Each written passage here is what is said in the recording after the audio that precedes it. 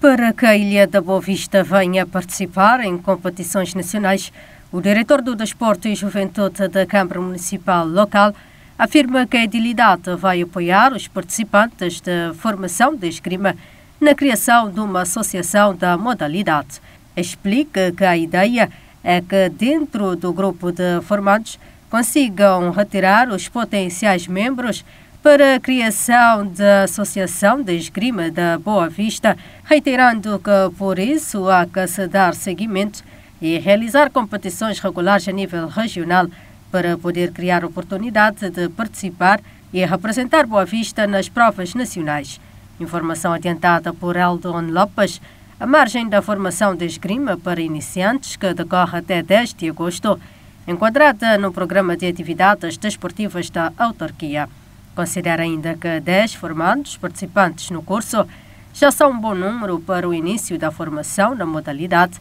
que está a ser apresentada pelo formador de esgrima André Pereira da Federação de Esgrima de Portugal. Por outro lado, adianta que já se está na fase da criação da Associação de Tecbol.